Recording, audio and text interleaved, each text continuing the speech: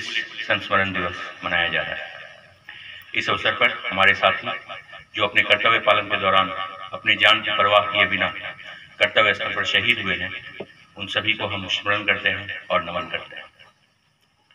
वर्ष 2021 में भारत में कुल 377 पुलिसकर्मियों एवं अफसरों ने अपने प्राणों की आहुति इस देश को बचाने के लिए विभिन्न स्थल पर दी है।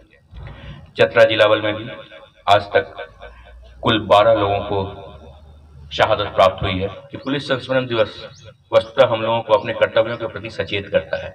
ये हमें बताता है कि हम सभी पुलिसकर्मी कभी भी पीछे नहीं रहते हैं, बल्कि जब भी हमें बलिवेदी पर अपना प्राण निछावर करने का मौका मिलता है, हम सभी आगे बढ़ते हैं और अपने प्राणों की आहुति देते हैं।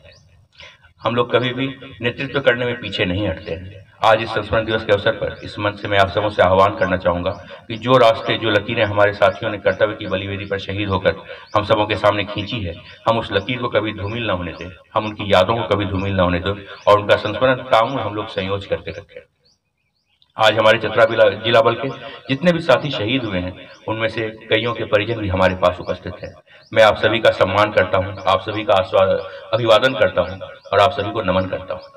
मैं साथ ही आप सबों को यह भी आश्वस्त करता हूँ जब भी हमारे लायक कोई भी सेवा हो, कोई भी ऐसा कार्य हो तो निसंकोच आप हमें आकर बताएँ।